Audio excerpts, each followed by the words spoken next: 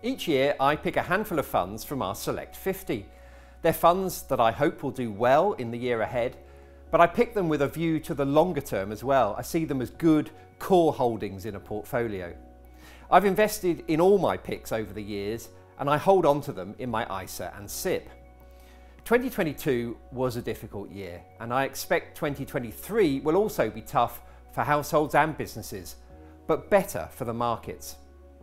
Investors look to the future, they anticipate better times ahead, and that means it can pay to be optimistic even when the economy is struggling.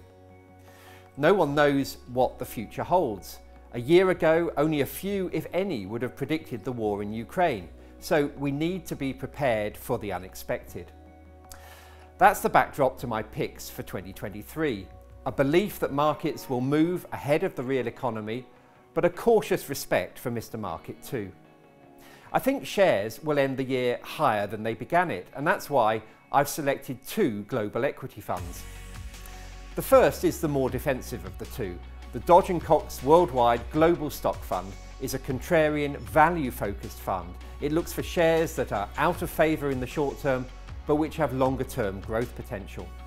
The companies it invests in tend to be medium-sized or large and well-established, and they tend to be cheaper than their peers shares in the portfolio are likely to have a higher than average dividend yield too.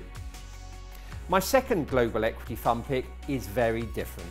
This is a much higher octane recommendation and its recent performance shows that investors should be prepared for much greater volatility with this fund.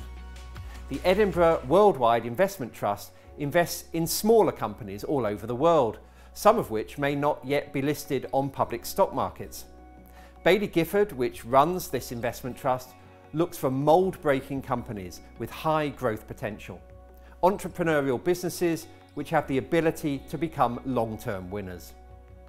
This is a risky way to invest and it's only sensible to do so in a closed vehicle like an investment trust, which can take a longer term view and avoid being forced to sell investments at the wrong moment. When the market turns up, this investment is likely to outperform more defensive funds, but it's definitely an eyes wide open choice. A key part of my investment thesis for 2023 is that interest rates will start to fall again as the economy heads towards a likely recession on both sides of the Atlantic. Lower interest rates should be a positive for both shares and bonds, so my third pick is a fixed income fund. In particular, I expect government bonds, which are the most sensitive to interest rates, to outperform corporate bonds, which have an element of company-specific risk too.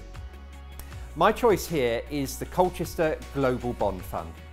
Colchester is a bond specialist and lends to governments all over the world, but this fund is focused on those in the developed world. I'd expect this fund to do well if investors are concerned about recession and they're looking for a safe haven. My final choice is a fund that combines all of this thinking in one defensive package.